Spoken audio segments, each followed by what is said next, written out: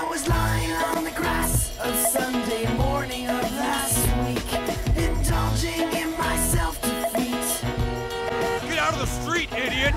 Sorry, my bad. It's gotta be an idiot, You're one of that piece You're of voting for the terrorists. You're voting for the terrorists. I know.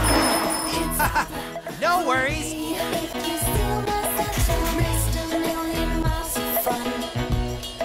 Remember the cantina? Oh, right. Remember Star Destroyers? Yeah, I love Star Destroyers. Remember? I have a coupon for that too. And, and those are six for four dollars with this coupon. Sorry. No, please. It's no problem at all.